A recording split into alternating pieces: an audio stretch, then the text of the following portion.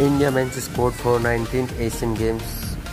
Team का कमान संभालेंगे ऋतुराज गायकवाड़ उनका साथ निभाएँगे टेस्ट डेब्यू में सेंचुरी लगाने वाले यशस्वी जायसवाल। राहुल त्रिपाठी को भी इस टीम में शामिल किया गया है। आईपीएल में मुंबई इंडियंस की तरफ़ से खेलने वाले तिलक वर्मा को भी मौका मिला है। और ये शख्स किसी परिचय का मोहताज नहीं है। आप इनको सब जानते हैं। जी हाँ रिंकू सिंह को भी इस टीम में शामिल किया गया है। पंजाब किंग्स की तरफ़ से खेलने वाले जितेश शर्मा को भी मौका दिया गया है।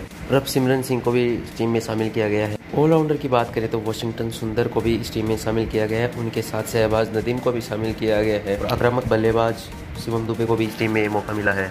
स्पिनर्स के तौर पे रवि बिश्नोई को सिर्फ़ मौका मिला है। फास्ट बॉलिंग का मोर्चा संभालेंगे अर्शदीप सिंह, उनके साथ मुकेश कुमार, जिन्होंने आईपीएल में बहुत शानदार प्रदर्शन किया था, और उनके बाद शिवम मावी भी इस टीम में शामिल है। क्रिकेट से जुड़ी सारी अपडेट्स के लिए चैनल को सब्सक्राइब करें और बेलाइकन को प्रेस